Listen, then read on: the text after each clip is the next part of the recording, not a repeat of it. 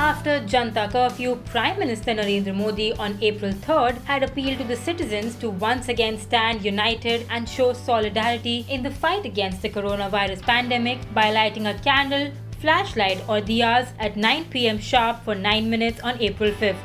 Several Bollywood celebrities such as Deepika Padukone, Ranveer Singh, Anushka Sharma, Alia Bhatt and others participated in it.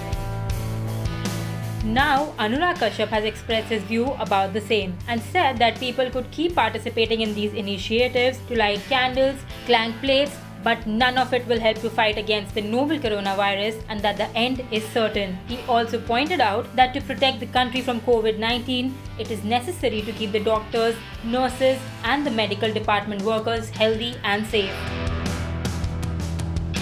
The cases of coronavirus have been on the rise even after two weeks of lockdown, and a lot of the focus is now on testing and providing facilities to the medical staff of the country.